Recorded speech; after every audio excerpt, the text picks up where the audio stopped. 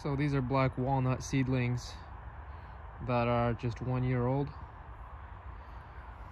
Notice seeding them in a big 25 gallon container and also wrapping them with uh, white lumber wrap helps so that the container doesn't heat up as much.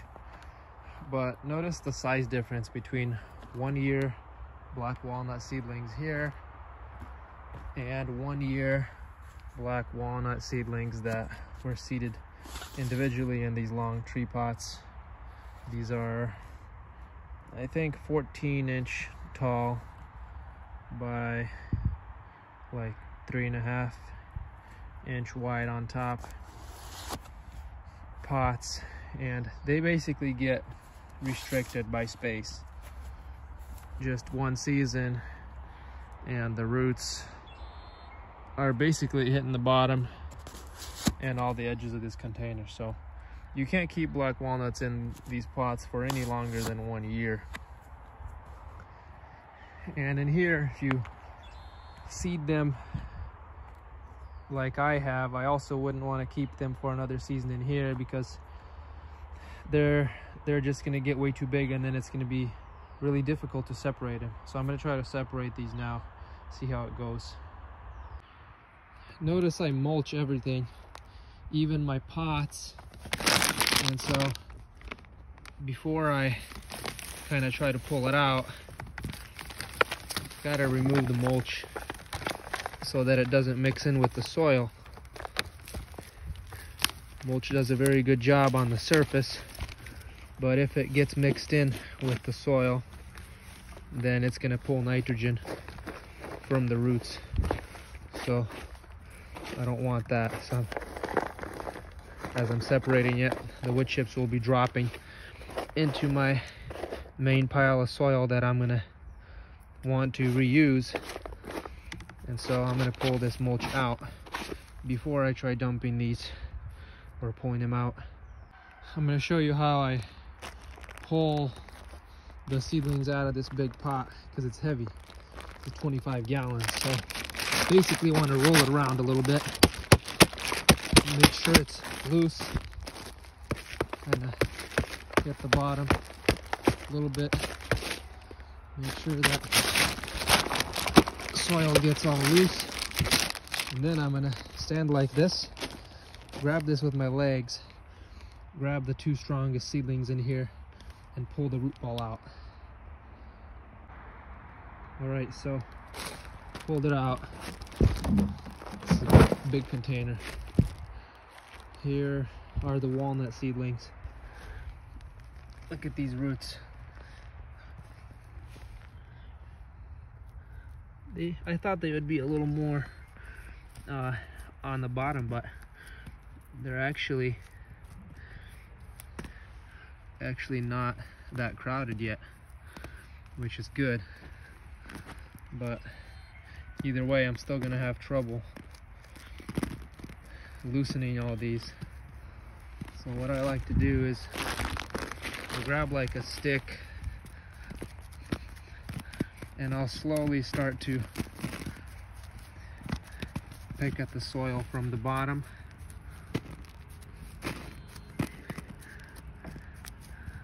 And and of course you're gonna be breaking some roots when you mass seed them that way. So that's kind of the downside of mass seeding the walnuts like this. But that's kind of how I separate them. I find find a spot where I can separate them and then I start moving in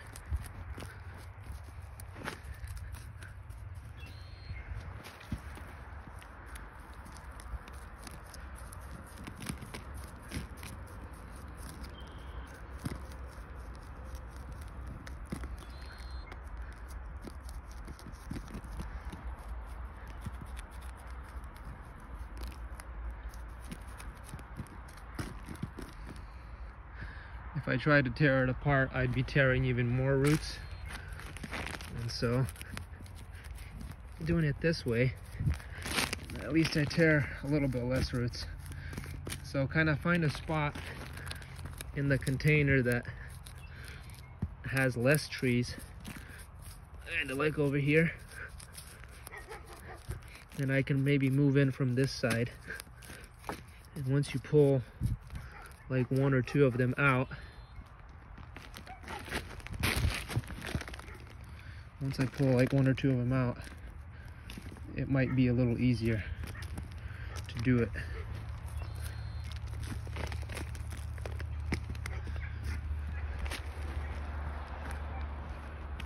There's a, a little one on this side. This little one is out, basically. Well, it has like three tap roots. There's a tiny one that's separated.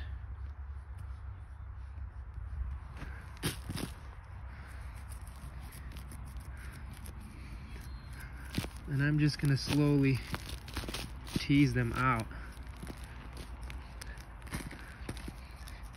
Try to loosen up as much as I can before I start tearing the root ball apart to save as much of the roots.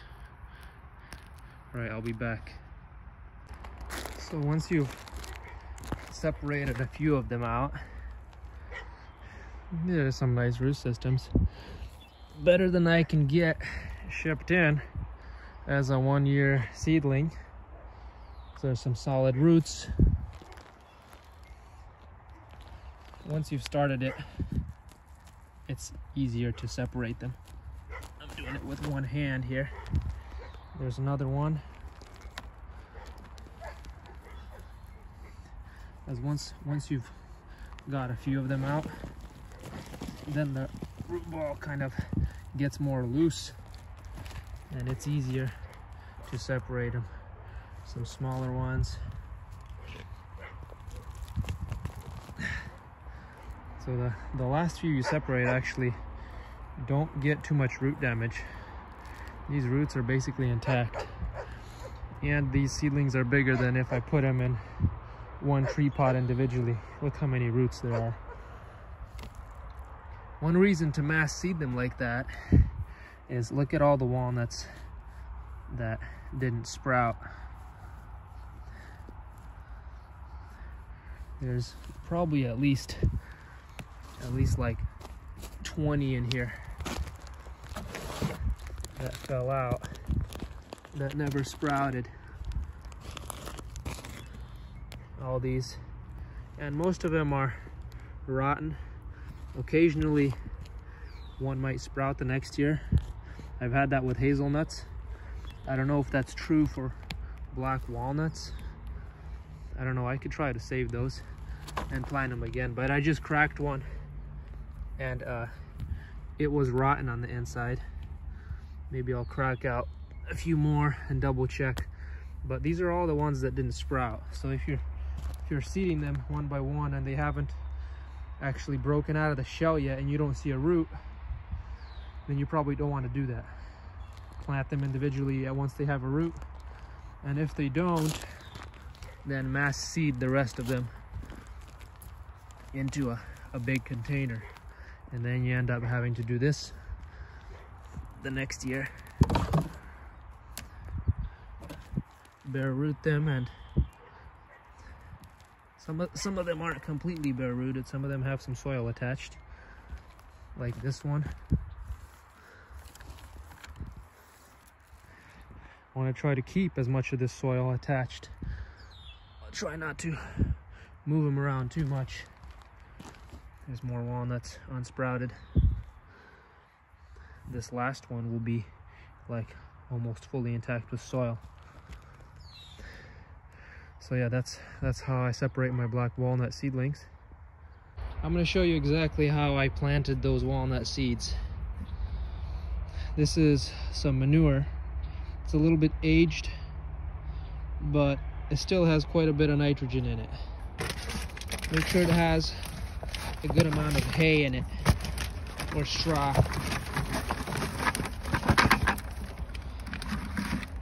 Don't need a lot. Just enough to cover the bottom of this container.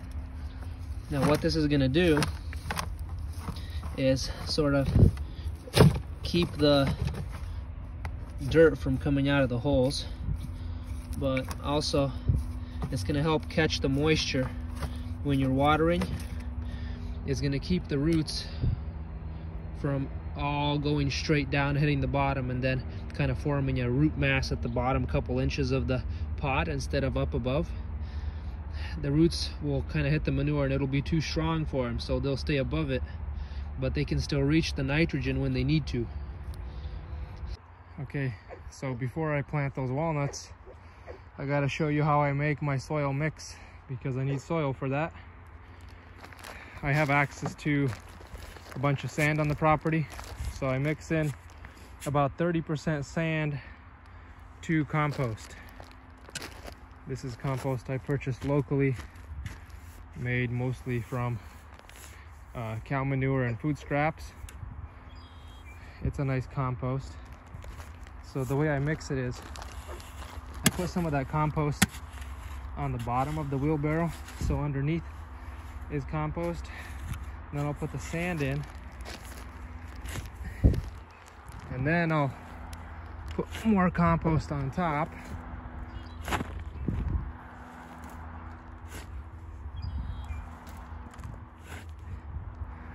And then I'll mix it. So after you mix it, it's gonna look like there's a lot more sand than there really is. That's because the compost kind of stays in chunks and the sand goes around every single particle and surrounds it which is good. So the the end mixture should be you know pretty well draining soil in the end which it is. I've done this before and it turns into a really good potting mix. I don't use vermiculite or perlite or none of that stuff because sand also adds minerals I've seen plant roots go directly into sand. And so I'd rather use sand than perlite, vermiculite, or all those other products in the mix. First of all, because I have access to a lot of it. Yeah, it makes your potting soil heavier, but you get more use out of it. It's a lot longer lasting, especially if you're doing something in pots for more than three years. Vermiculite will just turn into a soggy goo after a few years versus sand is basically forever. So that's that's probably my best uh, soil mix advice for you. Just use compost and sand. There's really nothing to it. About 30 percent looks like there's more sand but there really isn't. A lot of this is compost. The sand just gets in between every particle provides good drainage but also minerals for the plants. Let's go plant those walnuts. There's that manure on the bottom and now I'm just gonna fill this pot up with soil. All right so now we're getting to the nuts themselves these black walnuts were sitting in a big barrel that has holes at the bottom. I put some wood chips, mulch in this barrel, fill it with nuts, make sure that the nuts aren't really touching the edge of the barrel so they don't rot. They need oxygen movement. And put all the nuts in your barrel, cover it with wood chips. So this thing was full, just sitting outside all winter long. And these nuts are now fully stratified. They have gotten through their cold period. Uh, I didn't even remove the husks. These were stratified with the husks. Notice they're just all gooey and soggy and everything. That's how I germinate my black walnuts you don't even have to worry about removing the husks so some of them will probably be empty inside also but Uh, a lot of them have already started sprouting and I planted them, but we're gonna plant these into our container. Filled up the container just about two and a half inches from the top. So I'm gonna put a good amount of nuts in here.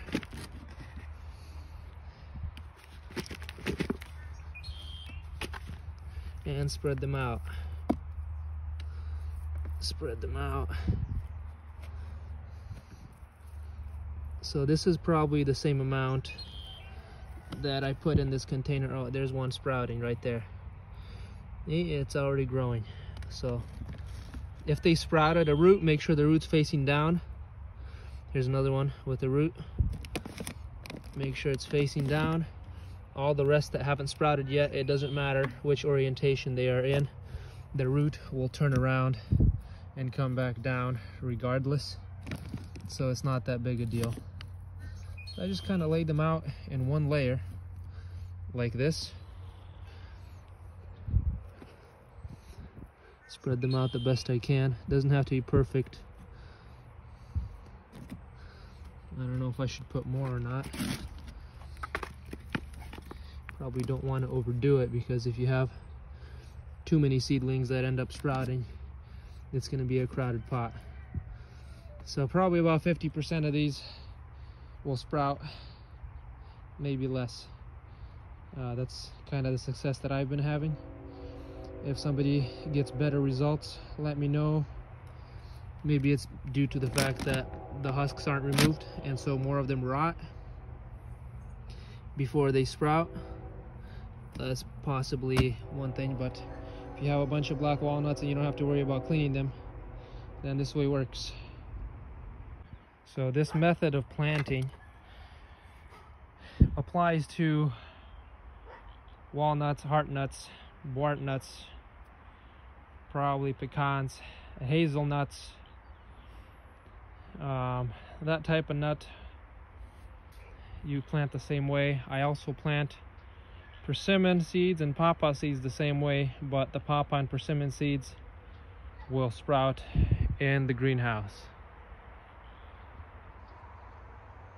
So uh, the the plants that require more heat to sprout like pawpaw and persimmon will sprout in my greenhouse, but they will be planted the same way.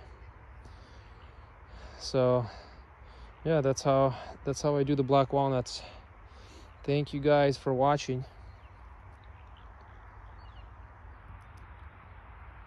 And I'll see you next time.